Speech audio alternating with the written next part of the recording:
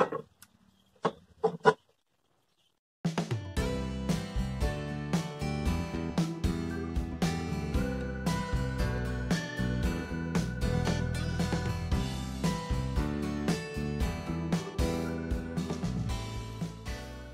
friends welcome to my channel and Mast kitchen one second दोस्तों, आज मैं आप लोगों के साथ तीता शुक्तो का रेसिपी शेयर करने जा रही हूँ।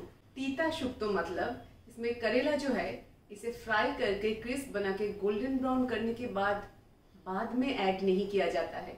इसे सब्जियों के साथ ही ऐड किया जाता है। इसलिए ये सब्ज़ी स्वाद में थोड़ा सा कड़वा होता है। खाने में बेहद स्वादिष्ट है हेल्दी है पॉपुलर बंगाली कुजिन है।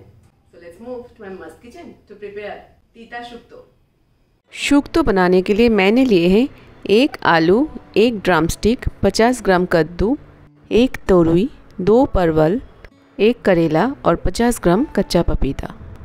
इन सारे वेजिटेबल्स का छिलका निकल करके हम वन इंच क्यूब्स में काट लिए हैं और करेला को स्लाइस कर लिए हैं। एक इंच अदरक को हम ओखली में पीस लेंगे, आप चाहे तो ग्रेट भी कर सकते हैं। इसे कहते हैं बड़ी, दाल को पीस करके, सूखा करके इसे बनाया जाता है। बाज़ार में ये आसानी से मिल जाता है। अगर बड़ी ना मिले तो भी कोई बात नहीं, बड़ी छोड़ के भी आप ये सब्ज़ी बना सकते हैं। बड़ी को एक चम्मच तेल में गोल्डन ब्राउन फ्राई करके हम साइड में रख देंगे। अब कढ़ाई में दो बड़ी चम्मच सरसों का तेल ऐड कर देंगे। तेल गर्म होने पर हम तेल में आधी छोटी चम्मच पाँच फ़ोरन ऐड कर देंगे। इसके साथ दो तेज़पत्ता और एक सूखा लाल मिर्च ऐड कर देंगे। पाँच फ़ोरन में मेथी, राई, जीरा, सौंफ और कालौंजी इक्वल क्वांटिटी में होता है। बाज़ार में बड़ी आसानी से ये मिल जाता है। इन सारे चीज़ों को करीब 30 सेकेंड्स के लिए हम फ्राई कर लेंगे। अब कढ़ाई में सारे कटी हुई वेजिटेबल्स हम ऐड कर देंगे।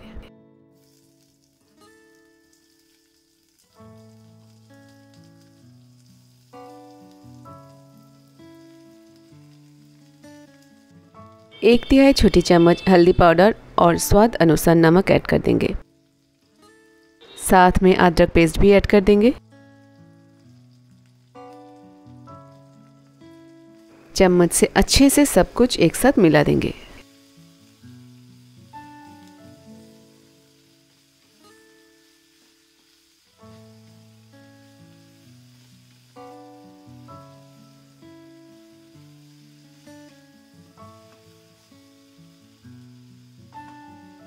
जिसमें अदरक पीसे हैं, उस ओखली को धो करके आधा कप पानी ऐड कर देंगे। एक बार मिक्स कर देंगे।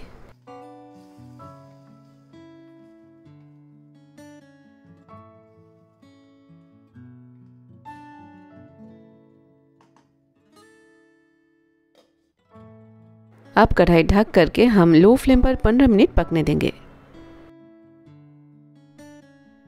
इधर एक छोटा सा पैन में आधा छोटी चम्मच राई और आधा छोटी चम्मच जीरा को हम ड्राई रोस्ट कर लेंगे एक मिनट के लिए।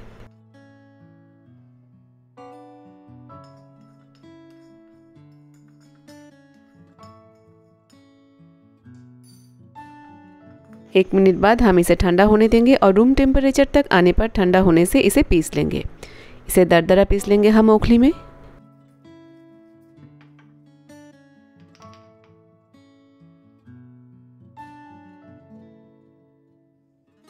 ये देखिए।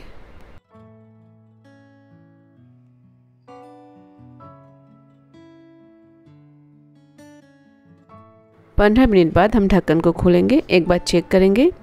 पानी सूख गया है। तो इसमें हम एक कप और पानी ऐड कर देंगे। ये देखिए, पानी बिल्कुल सूख गया है।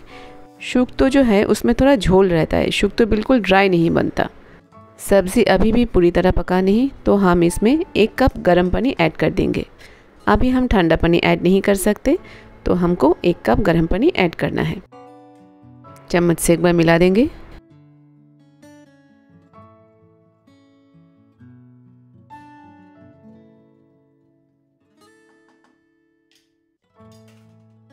दोबारा ढक करके हम लो फ्लेम पर 10 मिनट के लिए पकाएँगे। 10 मिनट बाद हम एक बार चेक कर लेंगे, सब्ज़ी पक गया है या नहीं। ये देखिए, सब्ज़ी पक गया है। अब हम कढ़ाई में भुना हुआ राई और जीरा जो पीस करके रखे थे, उसे ऐड कर देंगे।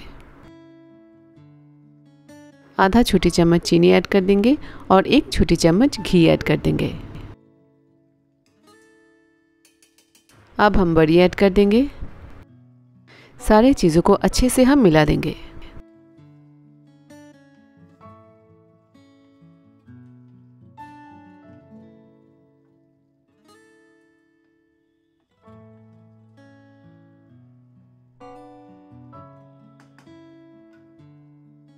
कढ़ाई ढक देंगे, गैस बंद कर देंगे और कढ़ाई को इस तरह ढके हुए 10 मिनट रखेंगे।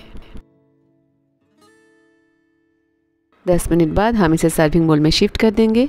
हम तेज़पत्ता को डिस्कार्ड कर देंगे और अब ये शुक्तो सर्व करने के लिए बिल्कुल तैयार है। दोस्तों, इसे गरम गरम चावल के साथ सर्व करें और बड़े मज़े से खाएँ। पिछले हफ़्ता में भी मैं शुक्तो का रेसिपी शेयर की है। उसमें करेला जो है, वो फ्राई करके क्रिस्प बना करके फिर डाला गया है। इसलिए वो शुक्तो का स्वाद ज़्यादा करवा नहीं होता। इसमें हम करेला को सब्जियों के साथ एक साथ ही ऐड किए हैं। इस शुक्तो रेसिपी में करेला का स्वाद आएगा।